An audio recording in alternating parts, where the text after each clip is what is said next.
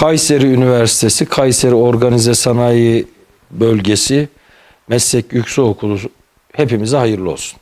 Önce şehrimiz Kayserimize ve ülkemiz Türkiye'mize, bölgemize hayırlı uğurlu olsun. Kayserimiz sanayi kenti, Kayserimiz ticaret kenti, Kayserimiz üretim kenti, Kayserimiz eğitim kenti. Kayserimiz tarihi, kültürel, sosyal değerleriyle bir turizm kenti.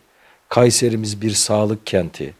Kayserimiz bir spor kenti. Dolayısıyla birçok bileşeni bağrında barındıran, Erciyes Dağı gibi yüce bir dağın eteğinde olan böyle bir şehrin üniversitesinin yine şehrimizin üretim kenti dedik biraz önce OSB'leri bulunmakta. Bunlardan en eskileri, en köklüleri olan birinci OSB, Kayseri OSB, Mimar Sinan OSB, İncesu OSB ve diğer planlanan organize sanayi bölgeleriyle beraber e, şehrimiz önemli bir sanayi kenti biraz önce de ifade ettiğim üzere. O yüzden OSB'nin içerisinde, üretim merkezinde e, Yüksek Öğretim e, Kurulumu'na yapmış olduğumuz e, başvuru neticelendi ve Kayseri Organize Sanayi Bölgesi'nin içerisinde e, organize sanayi bölgesinin de bize tahsis etmiş olduğu eğitim alanında inşallah e, o bölümlerin de başvurusunda bulunduk. Kaynak teknolojisi, polimer teknoloji, mekatronik gibi doğrudan organize sanayi bölgemizin içerisindeki programları açacağız inşallah. Tabi bu programları kendi kendimize masa başında belirlemedik. Organize sanayi bölgemizle yazıştık. Organize sanayi bölgemiz kendi ölçeğinde e, istişare etti, anket uygulaması yaptı, o verileri bizimle paylaştı.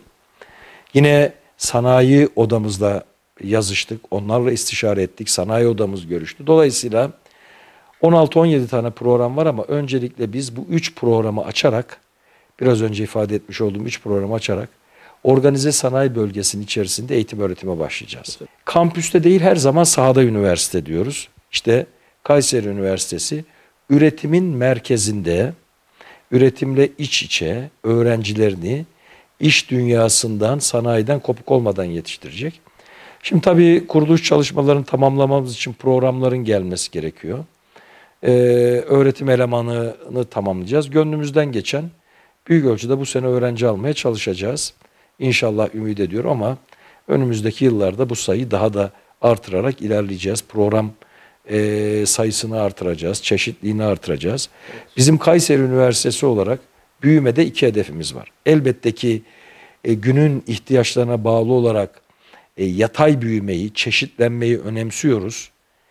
E, ama aynı zamanda dikey büyümeyi de önemsiyoruz. Yani ilgili alanda ki eğitim öğretim faaliyetlerinin niteliğini artırma, projelerin, araştırmanın, yayınların da niteliğini artırarak dikey büyümeyi de önemsiyoruz. O yüzden bu iki ana çerçevede organize sanayi bölgemizi de inşallah ileriye taşıyacağız. Tabii bu tip gelişmeler, büyümeler sadece üniversitenin tek başına yapacağı unsurlar değil.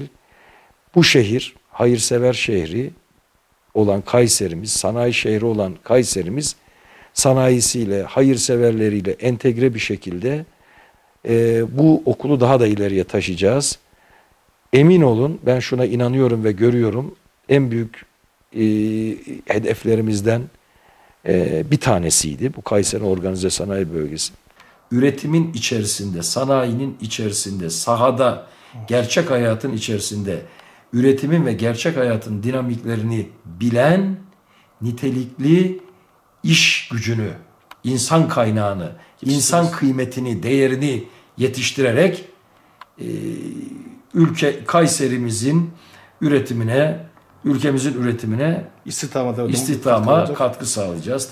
E sizin öğrencileriniz sanayiyle entegre bir şekilde, sanayinin dinamiklerini bilen bir şekilde yetişmişse evet. tabii ki iş dünyası da ne yapacaktır? Evet. Hemen istihdam edecektir. Orada daha iş hayatında çalışırken olan o yüzden bu bağlamda e, sadece biz değil organize sanayi bölgelerindeki meslek yüksek okulları iş garantili okullar, meslek yüksek okulları olarak da adlandırılmakta, nitelendirilmektedir. Bu bağlamda da inşallah Kayseri Üniversitesi, Kayseri Organize Sanayi Bölgesi Meslek Yüksekokulumuzda en e, çarpıcı sloganı da e, proje odaklı, uygulama odaklı bir meslek yüksekokulu ve iş garantili bir meslek yüksekokulu bu manada e, olarak değerlendirebiliriz.